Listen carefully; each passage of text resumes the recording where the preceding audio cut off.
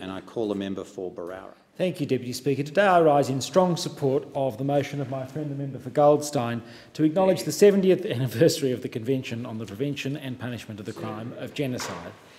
This was a significant moment for the world where it was unanimously agreed that the horrors inflicted upon peoples on the basis of their race, national or ethnic origin or religious grouping would become a crime at international law.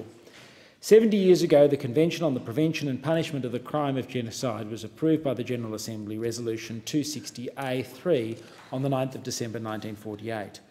Australia's Foreign Minister, Dr H.V. Evatt, was in the chair of the General Assembly when the conventions were passed, and Australia was one of the first countries to adopt the convention. The convention made genocide a crime under international law which, which should be both prevented and punished.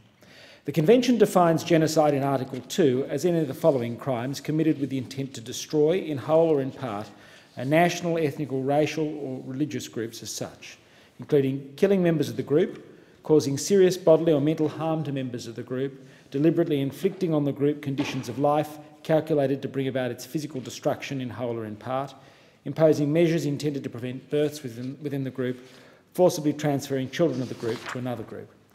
Article 3 made the following acts punishable genocide, conspiracy to commit genocide, direct and public incitement to commit genocide, attempts to commit genocide, and complicity in genocide. 1948 was within three years of the end of the Second World War, a war which saw the Holocaust, the Shoah, under which the murder of six million Jews at the hands of the Nazi regime and its collaborators took place. This figure represents nearly two thirds of the Jewish population of Europe. In April 1945, General Dwight D. Eisenhower, the Supreme Commander Allied Forces Europe, wrote of Ohrdruf, a subcamp of Buchenwald he had just visited. Eisenhower must have been an amazing leader and a man of extraordinary foresight. He said, and I quote, The things I saw beg a description. The visual evidence and the verbal testimony of starvation, cruelty, and bestiality were so overpowering. I made the visit deliberately in order to be in a position to give first hand evidence of these things if ever in the future there develops a tendency to charge that these allegations to propaganda. Eisenhower organised delegations of politicians, journalists, and filmmakers to view firsthand what had happened in the death camps in order to bear witness to what was then, and it's hard to imagine now, a sceptical public. One journalist was asked by a colleague if the scenes in the camps were as bad as they were described in the newspapers. No, he responded, they were worse. Sadly, in the 70 years since the Holocaust, the denial of the Holocaust is growing around the world, especially in the Muslim world. But even in the West, younger generations are more ignorant of the Holocaust than they should be. As a member of this House, I've been outspoken on the importance both of the recognition and the prevention of genocide and in upholding human dignity as a fundamental human right. I've spoken out against the persecution of Christians in the Middle East, of Yazidis and Kurdish minorities, as well uh, as, well as drawing the House's attention to human rights abuses in North Korea, including the murder of mixed race children. On this, the 70th anniversary, we are reminded of the importance of recognition in an act of prevention and prosecution.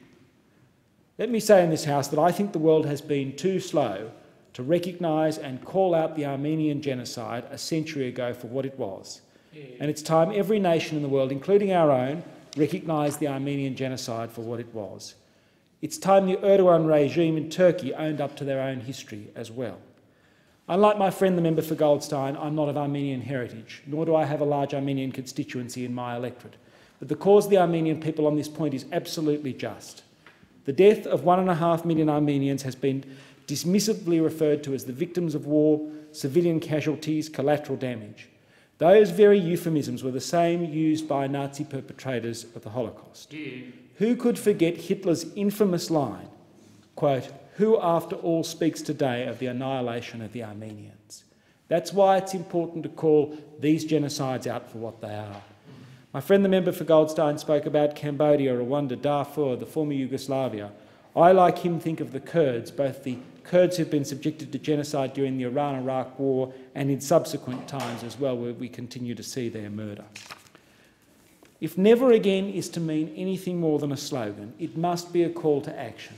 And that call to action must be a call for recognition and to stop denial, a call for more education, a call for greater acknowledgement of the genocides that have occurred. If we don't do that, we're failing to learn from history and, in effect, desecrating the memory of those who did not live to see the future. I thank the member for Berowra